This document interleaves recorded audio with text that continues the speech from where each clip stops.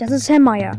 Herr Meier hat durch Zufall die Internetseite Personbook gefunden und erstellt dort ein Konto. Dazu gibt er all seine Daten an. Eines Tages macht Herr Meier Urlaub an einem Strand und fotografiert seine Super Coke. Die stellt er dann auf Personbook. Ein halbes Jahr später entdeckt Herr Meier zufällig sein Foto auf einem Plakat für Super Coke. Herr Meier beschwert sich daraufhin bei Personbook, doch die liegen ihm Ehre.